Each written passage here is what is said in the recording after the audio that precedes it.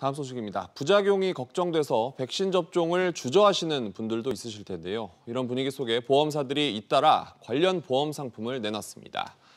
백신에 대한 관심을 반영하듯 불과 넉 달 만에 20만 명이나 가입해서 인기를 끌고 있습니다.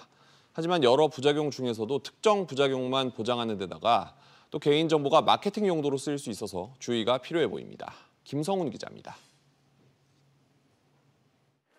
백신 접종을 주저하는 가장 큰 이유는 부작용에 대한 걱정 때문입니다.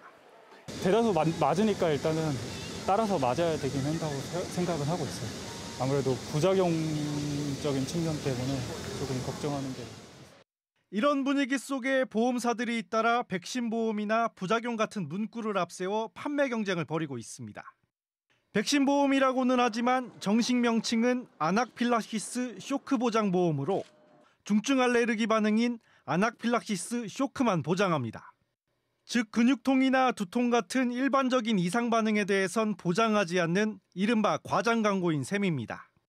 특히 아낙필라시스 쇼크로 인정받은 사례는 0.0006%에 불과하지만 보험사들이 백신 보험이라고 판매하고 있어 소비자들의 혼란이 우려됩니다.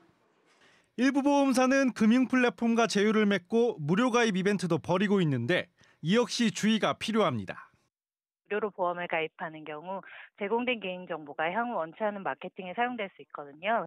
무료 보험이라고 홍보하더라도 이는 개인정보를 제공한 대가일 수 있음을 유의하셔야 됩니다.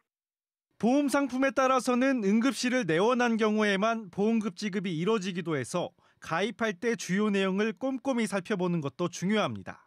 SBS 비즈 김성훈입니다.